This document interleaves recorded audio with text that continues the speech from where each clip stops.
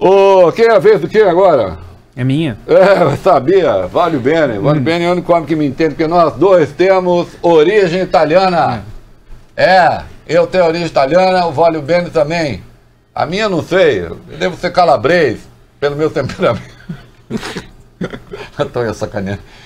Vale o bene, o homem que deveria estar interditado. Sim. Né? O homem, o nosso homem em quarentena. O nosso homem em quarentena. Vale o bene, porque o Vale o bene, ele tem, aquele, ele tem aquela coisa peninsular, aquela coisa insular, né? Peninsular, mais insular, Sicília, né? Oh, faz tempo. Fazia tempo, nem tava achando. A hora que o Fábio viu que eu ia por aí, ele fez uma cara de por caramba. Cadê?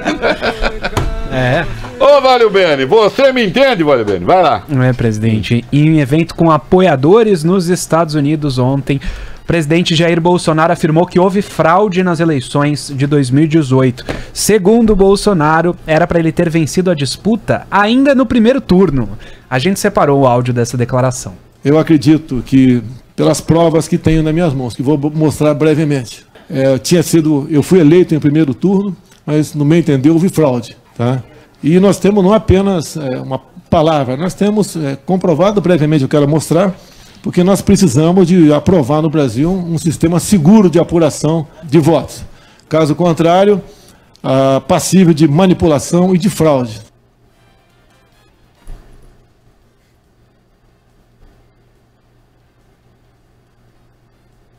Silêncio eloquente. É o presidente da República dizendo que a eleição Brasil foi fraudada. Nunca nenhum presidente do Brasil disse lá fora coisa tão grave. Nunca. Simplesmente nunca. Nunca.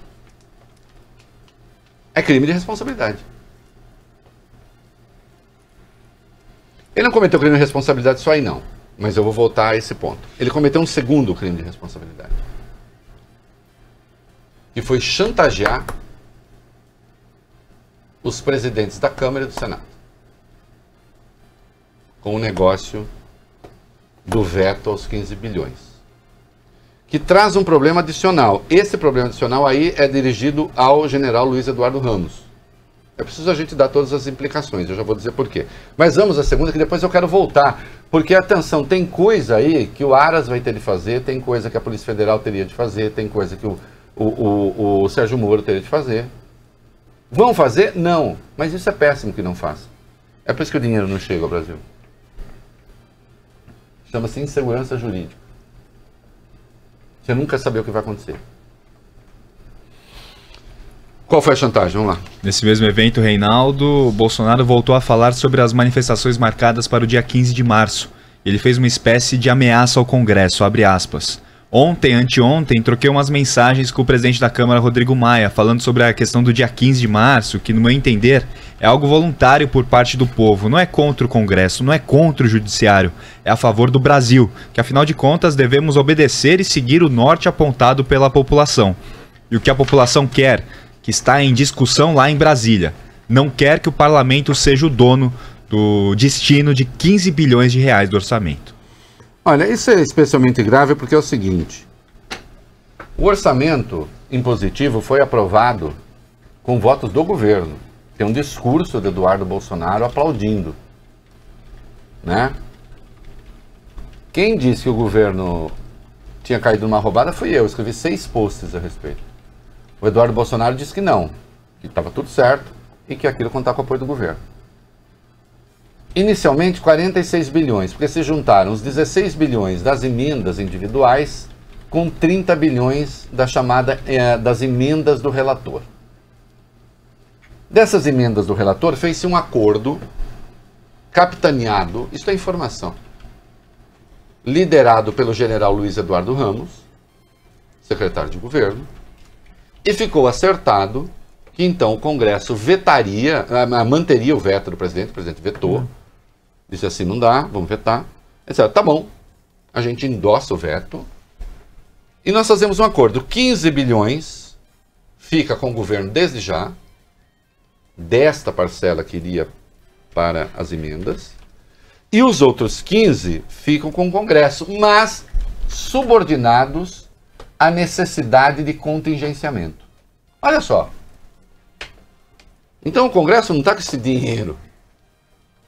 Fica para as emendas, mas subordinado à necessidade de contingenciamento. Lembrando sempre uma outra informação que as pessoas não têm, e você só está ouvindo esse programa porque você quer informação, já que cotovelo, orelha e traseiro todo mundo tem. Quase todo mundo, Van Gogh só tinha uma orelha. É... é Van Gogh é outro que se aparecesse nós não iríamos apoiar, porque é para minoria. É... né? Então, atenção, é... parte desse dinheiro, inclusive, é para a saúde. É uma coisa que as pessoas esquecem. Né? Parte das verbas de emendas de deputados vai para a saúde, obrigatoriamente. Obrigatoriamente. Se você cortasse todas as emendas de parlamentares, você estaria cortando dinheiro, o, o seu Bob Furuia, da saúde. Então, olha como o Congresso foi bonzinho. Abriu mão de 15 bilhões, os outros 15 disse, ficam sujeitos a contingenciamento, e abriu mão de uma outra coisa também mesmo aqueles 15 bilhões que eles teriam direito, tinha um prazo para executar. Fala, tá bom, não precisa de prazo. A gente vê, de acordo com a necessidade do governo. Esse acordo foi feito. O Bolsonaro está dizendo, não, esse acordo não vale. E a chantagem está em outro lugar. Ele disse o seguinte, sobre o dia 15. Se o Alcolumbre e o Maia falarem, a gente não quer mais esse dinheiro, Certamente o movimento do dia 15 então vai ser pequeno, segundo ele. Ou seja, ele está dizendo: eu estou mobilizando as ruas contra o Congresso. Ou o Congresso faz o que eu quero, ou as ruas vão botar para quebrar. Agora tem uma questão que eu tenho de responder depois do comercial. Será mesmo que as ruas estão tanto assim? Tão... Será que a crise econômica vai ter na rua aquilo que o Bolsonaro gostaria que tivesse? Por que será que ele fez aquela declaração? Por que será que ele vazou aquele vídeo lá atrás? Sim, houve um vazamento, a Vera noticiou e fez muito bem eu também ter noticiado, mas foi um vazamento deles, para criar onda. Declaração explícita de apoio. Agora, uma coisa que cheira a chantagem, cheira não, é. Junto com a declaração sobre as urnas. Então o que é que eu tenho que responder para vocês depois dos comerciais? Eu tenho que responder: será mesmo que a rua está tudo isso? Um. Dois. Quais são as implicações legais da fala do presidente? Que hoje reiterou, né? Só para encerrar esse, esse negócio das urnas. Sim. Né? Ele reiterou. Vamos botar a fala dele Vamos. no ar e a gente encerra Aqui. o bloco e depois a gente volta com as respostas. Quero que você me ache um brasileiro que confia no sistema eleitoral brasileiro. Eu espero que você ache um brasileiro que confia no processo eleitoral brasileiro. Não é na justiça, não deturpe minhas palavras, tá ok? Não façam essa baixaria que a imprensa vai sempre comigo. Não é a justiça. É que perguntaram a ele, não deu para ouvir, se ele não confia na justiça isso, eleitoral. Isso. Não, mas sim, a pergunta cabe. E de qualquer modo é uma questão para a justiça. É um processo supervisionado pela justiça eleitoral. As urnas eletrônicas estão subordinadas à justiça eleitoral. Ao Tribunal Superior Eleitoral. A um tribunal superior. Ah, não é a justiça. Não venha com baixaria. Como não vem com baixaria? E outra coisa, né, que é curioso, aí, enfim. Olha como é o raciocínio. Pergunte a um brasileiro se, se, há um brasileiro que confie nas urnas eleitorais. Eu, por exemplo, confio. Mas tudo bem, eu não conto, né? Tá. Pergunte se há um brasileiro que confia nas urnas eleitorais. Como não há na cabeça dele, então é fraude. Isso quer dizer o seguinte: se em algum momento se formar uma maioria de terraplanistas, uhum. então a Terra passa a ser plana. Entenderam? O critério de verdade é o critério do que, daquilo em que acredita a maioria. Já se disse muita coisa sobre a democracia, que é o regime, sim, da vontade da maioria. Menos que uma maioria determina ah, o padrão científico. Né? Até porque se entre aparência e essência das coisas houvesse uma plena coincidência, nem ciência existiria, né?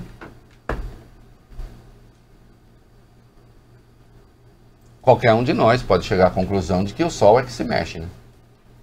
Se acorda ele está de um lado, você vai dormir, tá, entardece ele está de outro, ele se mexeu.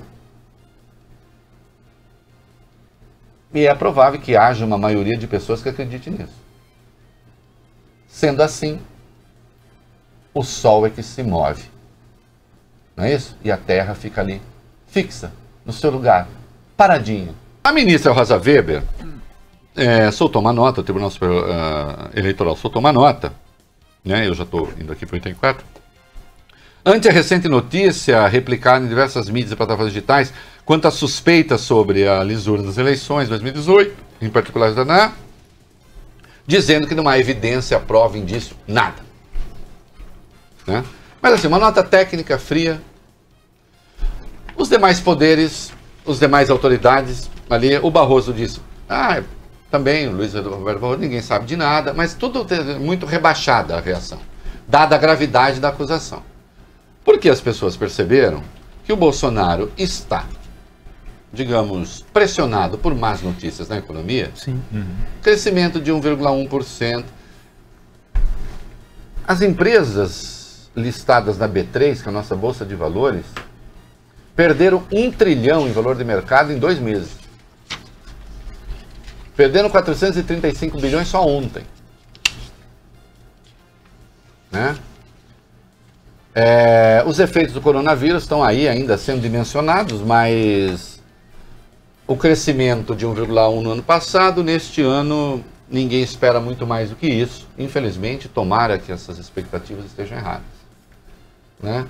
É, o desemprego é renitente, cai muito lentamente, e quando cai, a geração de empregos de baixa qualidade. O consumo está baixo, a renda está estagnada, a renda média do trabalho em R$ 2.300. Ah, havendo alguém que discorde desses números, por favor, liga aqui e dizer não, não é nada disso.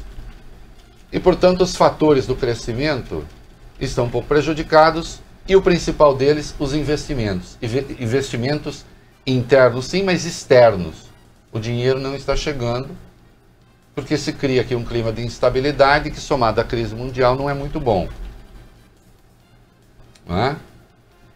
Então você tem esses elementos. O, o Estado não tem como investir. Aí vem uns idiotas, mas idiotas, olha, que é de cair de quatro e nunca mais se levantar, dizendo, ai, que bom que agora não tem investimento público e o pouco que há é privado. Como se houvesse isso. Como se algum outro país do mundo, incluindo os Estados Unidos, né? Houvesse esse negócio de que investimento público é bom, investimento é ruim, investimento. Não, o que é ruim é gasto público para financiar máquina pública, despesa. Agora, gasto público e investimento é bom, é bom em qualquer lugar do mundo. O Bolsonaro está com essa agenda, está tá complicada a equação. Então, por que não botar o povo na rua contra o Congresso? Contra o Supremo, contra os comunistas, contra sei lá quem. E aí sacaram isso, não vamos bombar o ato. Do ponto de vista político. Agora, isso não quer dizer que crimes não tenham sido cometidos. Dele, acho eu. Agora, uma coisa é inescapável. Considere-se ou não que ele cometeu crime, isso que ele denunciou tem que ser investigado. Não basta a Rosa Weber negar. Agora tem obrigação legal, que é investigar. Né? Então vamos lá. Quando o Bolsonaro faz chantagem com o presidente da Câmara, com o presidente do Senado, olha, se vocês abrirem mão do dinheiro, eu tiro o apoio do, do ato. Vale a lei 1079. Ele está impedindo o livre exercício do poder legislativo. É crime de responsabilidade. Pode resultar numa denúncia por impeachment. Para impeachment. Só que a denúncia tem que chegar à Câmara, o Rodrigo Maia tem que aceitar ou não aceitar. Se ele perceber que não tem número de deputados suficiente, ele vai recusar. Número de deputados suficiente tem que ter dois terços da Câmara para que isso caminhe para o Senado. Não vai acontecer. Então Bolsonaro está assim: eu cometi crime de responsabilidade, eu sei, mas como não vai acontecer nada comigo mesmo, vou continuar. Outra, é, é quebra do decoro. Ele ter ido malhar o Brasil como ele fez, eu mostro o trecho lá fora, em Miami né? Pode caracterizar isso. Agora, esta acusação que ele faz é uma acusação tendente a pôr em risco a União. Porque se eu digo que o sistema eleitoral brasileiro não funciona, não presta, é, é podre, e obviamente ele não tem prova, é mentira, também crime de responsabilidade. Só que eu vou esquecer o crime de responsabilidade esse que tem que entrar com denúncia na Câmara. Eu quero falar de outra coisa. Eu quero falar de outra coisa. Eu quero falar do seu Augusto Aras. O presidente da República disse que há fraude eleitoral no Brasil. Qual é a obrigação do Augusto Aras? Procurador-Geral da República e Procurador-Geral Eleitoral. A obrigação dele é falar para a Polícia Federal: investigue, abra o um inquérito. Né? Determinar, porque ele determina, por decisão do Supremo, ele determina a abertura do inquérito. Mas o Vale Bene vai entrar no Código de Processo Penal. E agora nós vamos falar com o Sérgio Moro, com o Polícia Federal. Vá para o artigo 5 Vale Bene, do Código de Processo Penal. Hum. Deixa eu ir? Sim. Qual é o caput? Nos crimes de ação pública, o inquérito policial será iniciado. Será iniciado. Nos crimes. Este é um crime de ação pública. Ele não é privado, é um crime de ação pública. Né? E a investigação será iniciada, inciso primeiro. De ofício. De ofício. Por quê? Pela Polícia Federal. Uhum. Então, atenção, a Polícia Federal não precisa Sim. nem que o Ministério Público mande. Não. A Polícia Federal fala: opa, isso é crime de ação pública que se chama incondicionada, que requer uma ação penal incondicionada. Isto é, não depende de alguém denunciar. É crime por si. Não tem que alguém pedir. Não tem que falar assim, eu fui ofendido. Abra-se a investigação. Não. É automática. É o presidente que está dizendo. Então o Aras tem que tomar providência.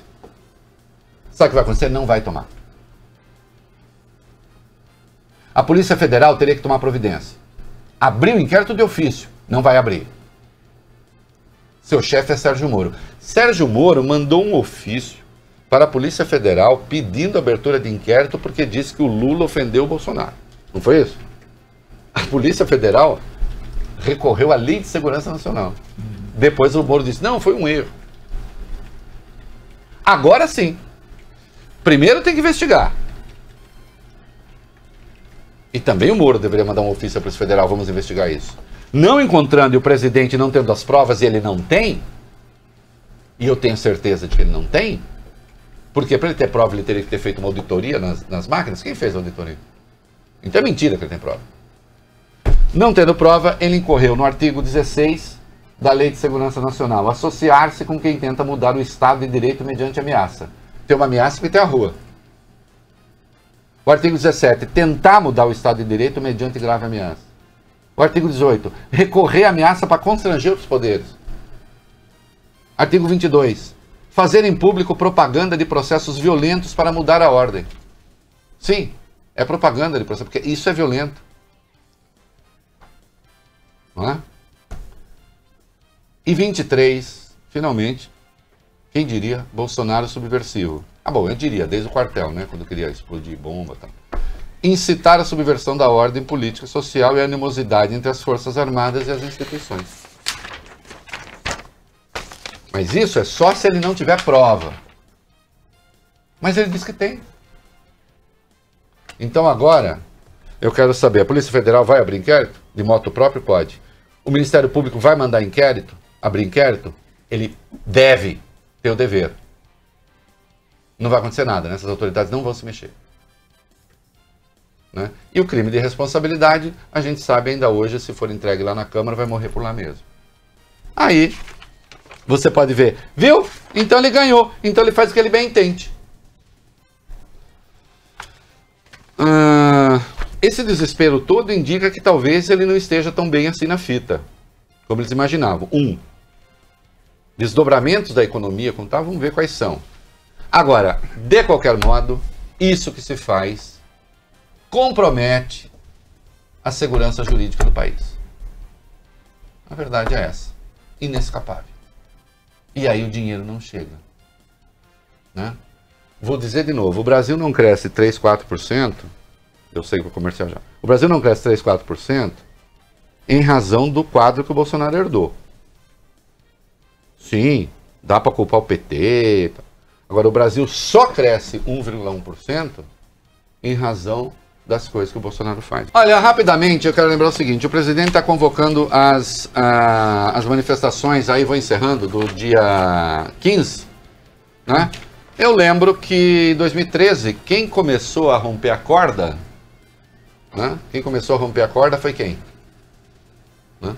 Foi A esquerda. esquerda, Sim. contra o governo de esquerda. MPL. Isso, MPL, né? Isso. Passe Quando se livre. viu, de repente, a vaca tem ido pro brejo. Não é isso? Agora o presidente está convocando manifestações da extrema-direita.